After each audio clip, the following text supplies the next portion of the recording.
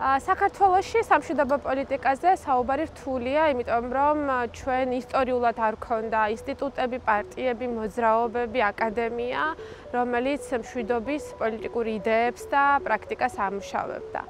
ამავდროულად ჩვენ ხედავთ, რომ მშვიდობის იდეის სრული დევალვაცია მოახდინა ქართული ოცნების მთავრობამ, რომელიც მშვიდობაზე საუბრობს მაშინ, როდესაც რეალური მშვიდობა არ გვაქვს. ჩვენ არ შეგვიძლია ვთქვათ, რომ დევნილებს, გამყოფი ხაზის მცხოვრებ ადამიანებს გალსა და ახალგოში მცხოვრებ ადამიანებს რეალური მშვიდობა აქვს. მშვიდობაზე საუბარი რთულია ტრავმირებული ნაციონალიზმის და მასკულინობის კონტექსტშიც, რომელიც საქართველოში გვაქვს, სადაც ხშირად ულტრანაციონალისტური თუ ურაპატრიოტული სენტიმენტები უფრო ძლიერია და ხშირად სწორედ ამ სენტიმენტების ტყვეები არიან პოლიტიკური პარტიები თუ ლიდერებიც, რომელიც სწორედ ამ აფექტების პოლიტიკურ მობილიზაციას და გამოყენებას ცდილობენ. ხშირად როდესაც სამშვიდობო პოლიტიკის კრიტიკა გვესმის სხვა სხვა პოლიტიკური თუ საზოგადოებრივი ჯგუფების მხრიდან ძირთადი აპელირება ხდება იმაზე რომ ამ სფეროში მომუშავე ადამიანებს არ აინტერესებთ რუსეთის ფაქტორი ან არიან ნაივურები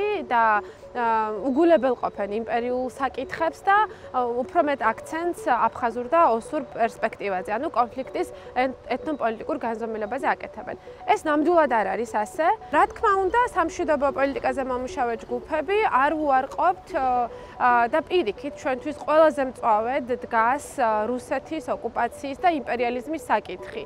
ხო, სამშვიდობო პოლიტიკა ყოველთვის ინტერესდებოდა იმპერიალიზმის საკითხითა და გლობალური უსამართლობების საკითხით. ამიტომ ეს საკითხი, რა თქმა უნდა, ცენტრალურია. თუმცა, ჩვენი მთავარი კრიტიკა ამ გაბატონებულ მოსაზრებასთან არის ის, რომ ეს ხედვა არ შეესაბამება ერთის მხრივ საქართველოსი კონფლიქტების ნამდვილ ისტორიას, ის თუ როგორ დაიწყო, რა მიზეზები ქონდა ამ კონფლიქტებს და ამავდროულად ის გვაგდებს მოჯადოებულ წრეში უმოქმედობის, მოლოდინის, პასიურობის და სისუსტის მდგომარეობაში, იმიტომ რომ თუ მთავარი ფაქტორი და ერთადერთი ფაქტორი რუსეთია, მაშინ ჩვენ უნდა დაველოდოთ იმ მითოლოგიურ მომავალს, როდესაც რუსეთი როგორც დრაკონი დამარცხდება, სამხრეთ კავკასიის რეგიონიდან გავა და სწორედ ამის შემდეგ ჩვენ შეგვეძლება ამ კონფლიქტების მოგვარება, ხო? თუმცა ჩვენ ხედავთ, რომ 30 წელია სწორედ ეს მოლოდინი არსებობს, მაგრამ ეს მოლოდინი არ მარცხდება, ის ხედვა და ის კონცეფცია, რომელსაც სამშვიდობო პოლიტიკა გვთავაზობს, ეს კონფლიქტის ყველა დონეზე რეალობის აღიარება, გათვალისწინება და მისი მასთან პასუხების მოძიება. დღეს ოპოზიციაც პრინციპში ქართული ოცნების ხელისუფლებაც მისი პოლიტიკა კონფლიქტის რეგიონებთან მიმართებით ეფუძნება არაღიარების პოლიტიკას, რომელიც რა თქმა უნდა 2008 წლის ომის შემდეგ იყო ძალიან მნიშვნელოვანი პოლიტიკური ინსტრუმენტი, რომ საქართველოს შეეჩერა ეხებინა დე ფაქტო სახელმწიფოების აღიარების პროცესი. თუმცა ჩვენ ვხედავთ, რომ განსაკუთრებულად უკრაინის ომის შემდეგ დე ფაქტო სახელმწიფოების აღიარებას რეალური პერსპექტივა არ აქვს. ჩვენ აი ამ შეცვლილ რეალობაში, ხო, როდესაც უკრაინის ომის გამო, ყარაბაღის ომის გამო, აფხაზეთის საზოგადოებაში გაჩენილია შიშები და დაუცველობის განცდა მათ მომავალთან დაკავშირებით და რუსეთის მხრიდან აი მათი ჩაყლაპვის ძალიან მაღალი შიშები, ხადია რომ ჩვენ არაღიარების გამო ახალი ალტერნატივების შეთავაზებისგან თავი არ უნდა შევიკავოთ, იმიტომ რომ ესეთი შიშები ამ ეტაპისთვის, აი ამ კონტექსტისთვის არის გადაჭარბებული. კიდევ ერთი ძალიან მნიშვნელოვანი ფაქტორი ევროკავშირია.